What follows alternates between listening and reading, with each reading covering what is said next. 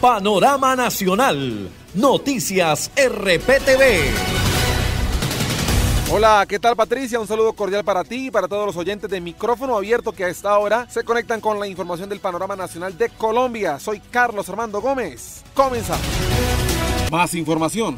Gobernación de Cundinamarca invierte 409 millones de pesos para mejorar productividad en el campo. Liz Castrellón. Con el fin de impulsar la competitividad y la sostenibilidad en el departamento, la Gobernación de Cundinamarca lanza un proyecto sobre evaluación de tierras para conocer cuáles son las zonas más fértiles y ayudar a que los sistemas productivos se potencialicen.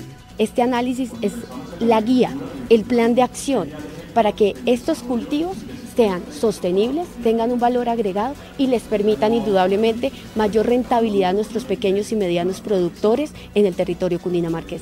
El proceso de ordenamiento social y productivo permite tener una mejor comprensión de los procesos agropecuarios y plantear mecanismos para la intervención del territorio beneficiando a pequeños y medianos agricultores.